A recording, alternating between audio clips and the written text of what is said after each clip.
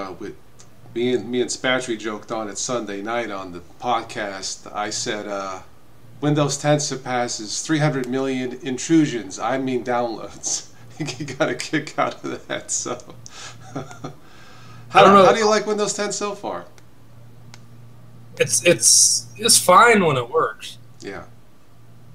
Uh, X Metal uh, uploaded a uh, well, he, he posted a link to Google Plus where somebody was um, doing a gaming video on Twitch or something, and halfway in the middle of the game, the system rebooted because it had to configure updates. I don't know if you saw it, but uh, yeah, it was pretty funny. I guess last week there was a, a live weather news blooper. The the uh, the news lady was doing her thing. You know, tomorrow's forecast will be and the and then this Windows 10 upgrade pop up came up live on the TV screen. She says, "Oh look, it's time for Windows." of course, Spatry had to eat that one up, right? that was funny. For sure. I'm just like you.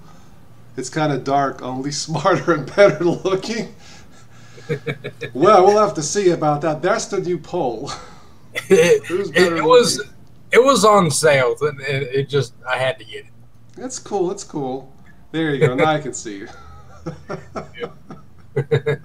and now, now Spatry challenged me to take the 30-day Manjaro. Thanks for the tips, by the way. The Manjaro test. He says it is virtual box user friendly. Well, if you want to take another crack at it, they recently released the 1606 um, pre Alpha 3 it doesn't have those update and download problems that mm. the uh, 1504 did. So well, I just I went to the website. I believe the the, the 15 some that's the latest stable version. I'm assuming. Yeah, sort of. The okay. way that it's well, the way that it's listed on the website, that's the latest official release. But as far as one being more stable than the other, they're really all the same because it's a rolling release. So it's they, they basically just take snapshots of what they already have, and that's the release. So there there really isn't a whole lot of difference. If you install the 15.0 whatever release, once you install all the updates, you're on the 16 release anyway. It's, so it, so they're they're just as stable as each other. It's just that because it's a rolling release, they're different snapshots of what's happening. Okay. But, but when you take the snapshot of what's already posted to the website, they have different themes in there and some different patches and things that you might not get in your updates. So that's one of the reasons why you might want to grab the newer snapshot so you can get those things. But as far as stability is concerned, they're pretty much the same release because after you do those updates, you know you're since it's rolling, you're on the same version anyway.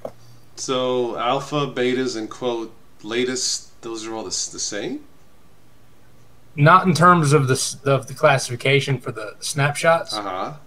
but all of the packages and package versioning that's all the same. It, it, doesn't matter once you install the updates.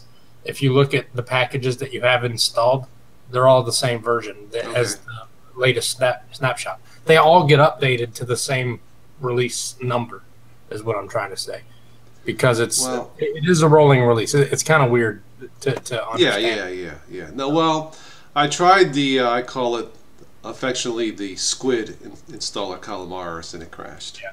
I, I don't really I don't really care for that one. Uh, well, Spatry warned me afterwards. See, I tried. So, so to be fair, I started over and I did the uh, not the Klee installer, but the uh, thus the thus installer. And that one's fine. So yeah, that, that's the one that I use. Okay, yeah. install Find Me box, not an issue. And I continued, and then I I had the update notification. It says 800 megabytes a day. I, th I think I'll stop here. But so far, so good. And it is zippy. Even in a VBox, it is zippy. I will say that. So The Calamares installer really isn't specifically for Manjaro. It's just that the Manjaro team are the developers of that installer, okay. and that installer is universal and non-distro specific. Okay. But the Manjaro hardware detection tool yeah. is one example. Yeah they have their own kernels that they're, they're separate from the Arch kernels. They're they're they take the Arch kernels, but they they patch them. They put some stuff in. They they don't change much about them, but they do patch them in such a way that they can keep them separate from the Arch uh, stuff, so they can do their own thing to them. So, uh, as a result, in order to get the latest drivers and stuff to work with their kernels, they have to basically release these precompiled uh, driver blobs that match the kernels from Manjaro. From Manjaro, yeah. Okay.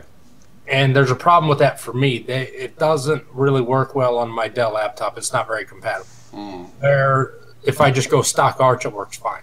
Really? So I do I do run into some issues like that where some of the things that the Manjaro guys change actually make it not work on my hardware. Where if I just stuck with the regular Arch release, it, it, there's no issue. So it's like rolling a dice, crapshoot. It might work, it might not. Yeah, for me, it is. Okay. Uh, Manjaro works perfectly good on this desktop here. There's no problems. It works all right on my uh, Asus laptop, but my Dell, it, has got the older um, GMA integrated Intel graphics before Sandy Bridge came out, and the way that they have that configured, it just doesn't work right. Hmm. But the, there are little quirks about it that if you if you've never experienced them before and you don't know how to deal with them, it, it can be off-putting. Yeah, it really can. Like uh, if your updates are going really slow, most people don't know how to deal with that. You do the I, I sent that command to you in, in the in, in, the YouTube comment. Well, if you don't know, then someone has to go read the uh, read the instructions that pops up when you first right log into the Manjaro default desktop, well, right? I learned a lot of the fixes from actually the Arch Linux forums. Okay. Manjaro is based on Arch, but so, they're so it's the same commands, right? Yeah, but the, the Arch documentation is some of the best around. Okay. So if I'm having an issue in Manjaro, I look for that issue in the Arch yeah. forums usually I'll find a solution there. Okay. Um, and that's uh, well, in, in, the case of the mirror syncing, that's Manjaro does their own thing. Uh, that's because uh, Arch uses like uh, rank mirrors. You could also use a, a third-party utility called Reflector to do it. But if your downloads are going slow, uh, like in Ubuntu or Linux Mint, they yeah. just have that window where you could choose the fastest server from a list. Okay. But in Manjaro, you just open up terminal, you do sudo pacman dash mirrors space dash G, and it'll automatically look at the. Uh, it, will basically bounce a ping off yeah. each every server, yeah. And it'll automatically arrange every download server from the fastest to and the. And that always works. That command. That command is what does it, and once you do that, the updates and the downloads super fast, faster than anything that I've experienced on Ubuntu. Okay, but is that command but, that someone something else you mentioned in that comment. Are those commands in that standard document folder when you first boot into Manjaro?